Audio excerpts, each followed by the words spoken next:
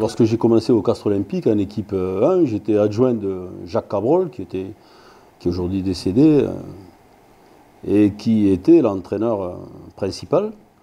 Donc j'étais adjoint et on a perdu cette saison-là, 87-88, en 32e de finale de championnat de France contre, contre La Rochelle. La saison suivante, donc, Jacques Cabrol s'est mis un petit peu en retrait et m'a demandé de prendre l'équipe. Donc euh, j'étais entraîneur principal 88-89 avec René Bell, mon ami, euh, comme adjoint. Et le premier match de championnat euh, s'est déroulé ici à Pierre-Antoine. Lorsque nous sommes sortis des, vestiaires, on a eu la, surprise, la grande surprise même, de voir que La Rochelle s'échauffait dans notre embut. Et les équipes ont commencé à se croiser dans l'embut, puisqu'on a commencé notre échauffement, et c'était quand même assez rarissime, c'est la seule fois que je l'ai vu, les deux équipes se sont échauffées dans le même embut. Il y a un certain moment, évidemment, les, les équipes se frôlaient, et c'était on ne peut plus tendu. On s'est arrêté pour, euh, pour faire des étirements, les Rochelais sont passés au milieu de nous. Et là, Jean-Louis Marty a dit à, Charles Tristani, il lui a dit, bon Charlie, il faut que tu t'en occupes.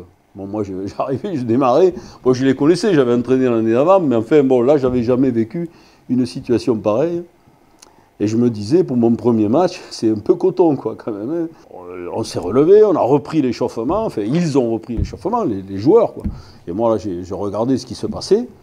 Ils se sont croisés et il y avait un, pauvre troisième ligne un peu en retard euh, du stade Rochelet qui était un peu décroché par rapport au groupe de joueurs qui, effectuait son footing de début d'échauffement.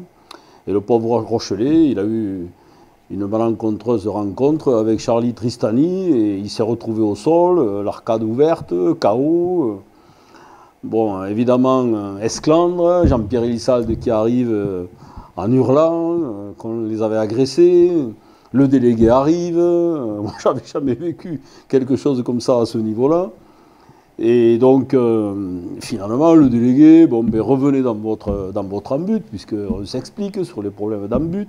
Donc, La Rochelle part dans son embut, et bien évidemment, les choses avaient été éclaircies euh, bien avant le match, et on a gagné assez facilement d'une trentaine de points. Je n'ai plus le score en tête exact, mais on avait mis une trentaine de points, ce qui était beaucoup pour l'époque dans un match de début de saison euh, à La Rochelle.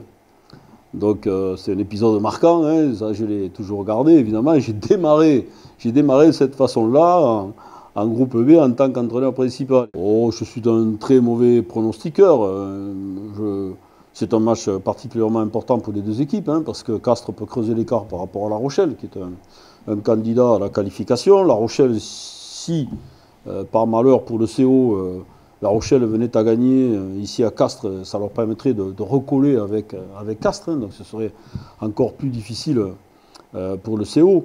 Mais bon, moi je n'envisage pas que Castres puisse perdre ici à la maison. Mais je pense que le CO quand même devrait gagner ce match. En tout cas, je l'espère, je le souhaite.